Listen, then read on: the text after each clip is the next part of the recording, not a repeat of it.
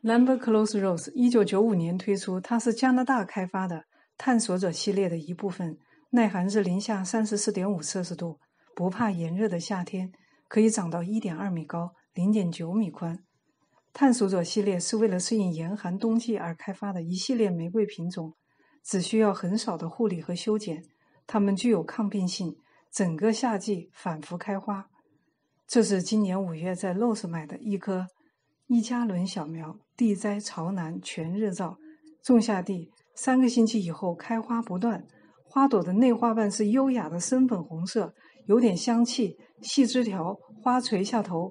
这棵玫瑰有三十厘米高，小个子，可是花朵大，叶子是有光泽的绿色。